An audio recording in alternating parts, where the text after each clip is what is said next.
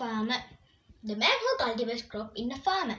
The farmer is the most important person in our country. He cultivates rice, which is the main food of our people. He grows paddy rice for people.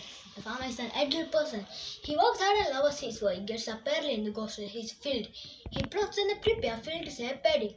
After about 200 days, he uproots the young paddy plant and replaces in the field. In olden days, paddy cultivation was done only in nurseries. Today, the agriculture department is provides necessary instruction for paddy cultivation. Thank you.